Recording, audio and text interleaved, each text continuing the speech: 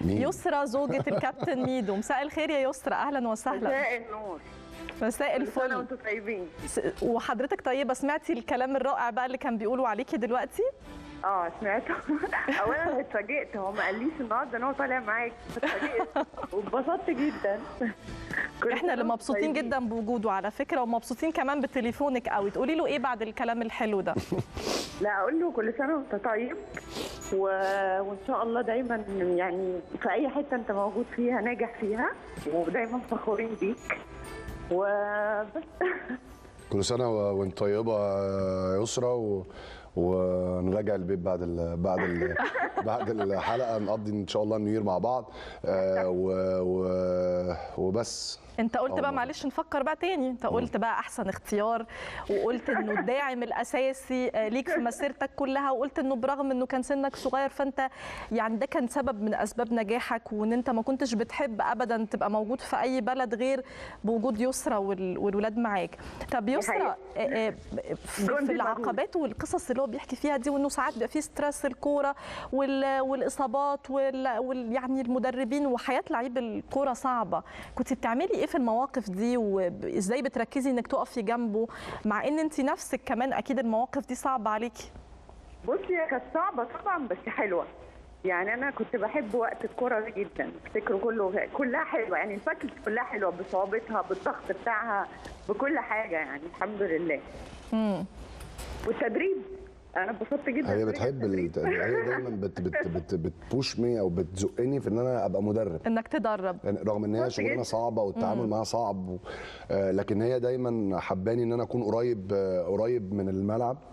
يمكن كان- عشان حاسة إنك بتحب ده. هي عارفة إن أنا بحب ده. هي عارفة آه. إن أنا لا وأنا عشان مدرب بيحب ده وعلشان بصراحة عنده فكر يعني دايما بقول له حرام. يعني لازم دايما يبان.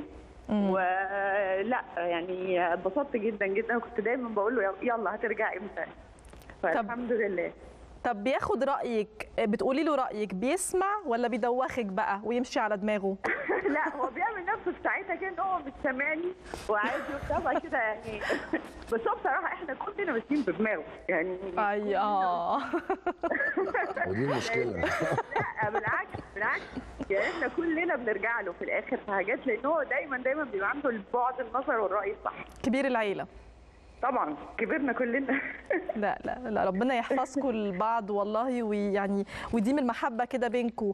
السفر. الكتير والتنقلات لا ما شاء الله دايما لا, أقول لا, لا مش قصدي عليك أنت يعني هي دايما حتى لكل إيه طبعا لما طبعا ننزل صورة بتاع بس على فكرة والله أنا أنا يعني موضوع الحسد ده فعلا. تصدقي وأوقات كتيرة جدا نبقى مسافرين مثلا أو حاجة ما أعرفش أنت رأيك إيه في الموضوع ده وانزل صورة مثلا كده حلوة إن إحنا بتاع وت- وتاني يوم لازم نتخانق ب- بس هي دي بتحصل الامانه عشان نبقى عشان نبقى واقعيين. وصراحة لازم في خناقة. بعد الصورة آه. هي معروفة خناقة بعد الصورة. خناقة بعد الخروجة دلوقتي معروفة معروفه دي. لا لا أنا ما بأمنش بكده خالص. أنا بأمن ربنا بيحمينا ولو فكرنا كده هيحصل لنا كده. لكن شيل الموضوع ده من دماغك هتلاقي إن الدنيا دي يعني مفيش حاجة خالص يعني. أصعب موقف طيب مريتي بيه مع الكابتن ميدو كان إيه؟ لا كتير قوي. لا أصل أنا حياتي كلها دراما مش دراما. في يعني يعني حياتي فيها حاجات كتيرة جدا وخناقات وقصص و... طب قولي لنا كده أصعب حاجة أو موقف انت فاكراه يعني شيبك كده زي ما بيقولوا؟ لا لا أنا مرة رحت الاستاد ورحت الماتش وقاعدة بين الجمهور وكله مستنياه وبتاع كلمني أنت فين؟ قلت له قلت له أنا في الماتش أنت اللي فين؟ أنا في البيت. رجع البيت وساب الماتش ورجع. لا لا كتير, كتير إيه اللي يعني. حصل؟ معلش ري- ساب الماتش ومشي؟ آه. مشيت قبل الماتش. رجع رجع أنا قاعدة في الاستاد أنا وعلي صغير وقاعدة بتفرج على الماتش مستنيه وبتاع لقيته انت فين؟ قلت له إيه ده أنت بتكلمني كده إزاي؟ قال لي أنا في البيت. ارجعي ارجعي يا خبر أبيض. كنت اتخانقت مع مدرب خناقة صغيرة كده. ومشيت وخلاص. ومشيت وروحت. صورتكم في الفرح دي.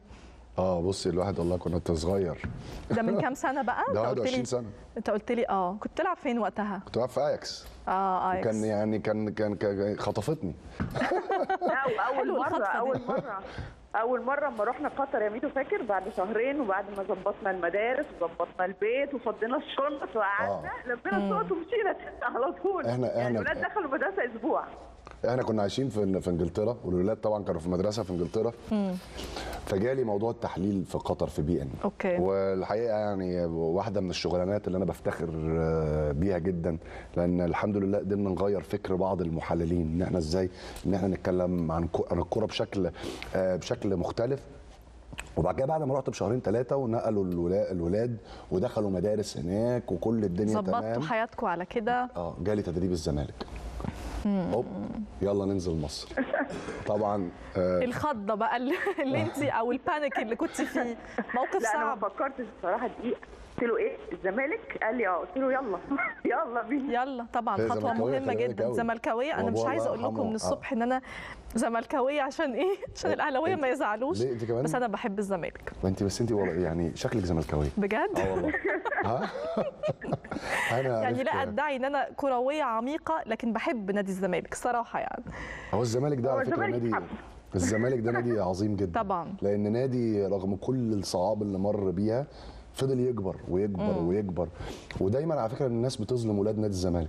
يعني في ناس يقول لك إيه ده ولاد الزمالك هم مشكلة الزمالك. والله ولاد الزمالك هم أكتر ناس مكافحين وبيكافحوا وأنا شفت ولمست ده ونفسهم النادي يقف على رجليه ويبقى أحسن. ده أنا شفت أصل أنا أصل أنا دربت نادي الزمالك يعني كان في وقت صعب. وقت اللي هو بتاع 2014 و2013 كان وقت صعب. والله كنت بشوف ناس ولاد نادي الزمالك بقى لهم سبع أو ثمان شهور ما قبضوش جنيه. ومستمرين. وبيروحوا كل يوم الشغل وبيشتغلوا بحب وبيموتوا نفسهم كل يوم في في الشغل وما بياخدوش جنيه. يعني بقى لهم. والله العظيم شفتها. وموظفين بسطاء يعني. لو ما يحبوش النادي ما يعملوش كده. بالظبط. إيه اللي يضطرهم فلولا أنا بقول العكس العكس اللي الناس بتقوله. لولا أولاد نادي الزمالك لما بقى نادي الزمالك عظيما طبعا الجمهور قبل أولاد النادي الجمهور ده حاجة كلها أساس. منظومة مع آه، بعض طبعا, طبعا. ولكن ولاد نادي الزمالك فعلا آه، آه، مظلومين. لكن إحنا عايز أقول إن علاقتنا ببعض كويسة جدا.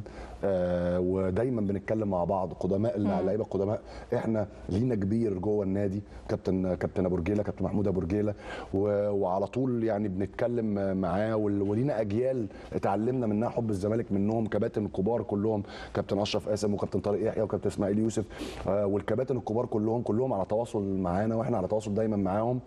و ويعني تاني ال- ال- الجمهور الزمالك ونادي الزمالك ده آه، آه، حاجة حاجة عظيمة عظيمة جدا. وبصراحة من أحلى الحاجات في مصر. طب الحب اللي أنت بتتكلم بيه عن نادي الزمالك ده ومعلش خليكي معانا يا يسرا الحب اللي أنت بتتكلم بيه عن نادي الزمالك دوت قدرت تفصل إزاي؟ وأنت مدرب الإسماعيلي ولقاء الإسماعيلي مع الزمالك الماتش بينهم وبين بعض يعني هل كنت متقطع حتتين ولا اتفصلت إزاي بقى لا؟ خالص يعني بصي أنا محترف جدا في شغلي. آم، أنا صاحبكم وصديقكم وبشجعكم في أي وقت الا إلا خلال ال 90 دقيقة آه، وما قبل ال 90 دقيقة وما بعدها بحاول إن أنا أبقى محترف التزامك تجاه الإسماعيلي. التزامي تجاه الجمهور يعني جمهور الإسماعيلي جمهور كبير جدا. إن أنا النهارده عندي التزام إن أنا لازم إن أنا أكافح آه علشان آه أكسب حتى لو بلعب قدام بيتي. وعلى فكرة ده اللي إحنا اتعلمناه في نادي الزمالك وده اللي اتربينا عليه في نادي الزمالك إن أنت لازم تخلص لمكان عملك قدام أي حد. نمرة اتنين اللعيبة بتاعتي. أنا دايما أنا بحس إن اللعيبة دول ولادي وإخواتي الصغيرين. ففي ما ينفعش يبقى هم بيقاتلوا في الملعب وأنت وأنت انتباهك وأنا في حتة ثانية 5% في قلبي مش قلبك معاهم. مش مخلص ليهم. مش مخلص ليهم. بحس إن ربنا هيعاقبني ولو ما عاقبنيش في الماتش ده هيعاقبني بعد كده. حاجة تانية. يعني أنا خلي بالك أنا مؤمن جدا بال بال بالكرمة وبعقاب ربنا. ترد لك على طول. على طول. يعني ده إيمان كبير مني إن أنا آه آسف إن أنا آه بحاول إن أنا أخلص في كل حاجة بعملها. وأنا بقول على فكرة ان التوفيق بتاع ربنا ما بيجيش من الصلاة وال- والعبادة بس. الصلاة والعبادة آه، مهمين، جزء مهم وجزء لكن أساسي. في جزء تاني. جزء آه، آه، آه، مهم جدا وهو الإخلاص في كل حاجة بتعمليها. آه، أنا بحاول إن أنا مثلا تحضيري للماتش آه، يبقى كل حاجة معمولة صح على قد ما أقدر علشان ربنا يكرمني وربنا يوفقنا كمجموعة وده دايما الرسالة اللي أنا بحاول أوصلها لعيبتي رائع. يسرى تتمني له بقى إيه النهارده كابتن ميدو وهو يعني ال- المهمة اللي هو فيها وتدريب نادي الإسماعيلي؟ وأنت بتشجعيه على التدريب وعارفة إن ده الباشن بتاعه أو ده الشغف بتاعه. تتمني له إيه بقى في 2023 أتمنى له طبعا النجاح وربنا يوفقه في المهمة الصعبة اللي هو فيها. ويديله على قد مجهوده وشغله وتعبه و- وإن شاء الله يعني يحقق نجاح كويس مع الإسماعيلي بإذن الله وتبقى خطوة حلوة و- والحلم الأكبر بقى إن شاء الله منتخب مصر. منتخب مصر. إن شاء الله. طول ما انت واقفة في ظهره كده بإذن الله. يا رب. إن شاء الله. كل سنة وأنتم طيبين. وانت طيبة يا. رب. وبشكرك شكرا جزيلا. طبعا نورتينا في 90 دقيقة.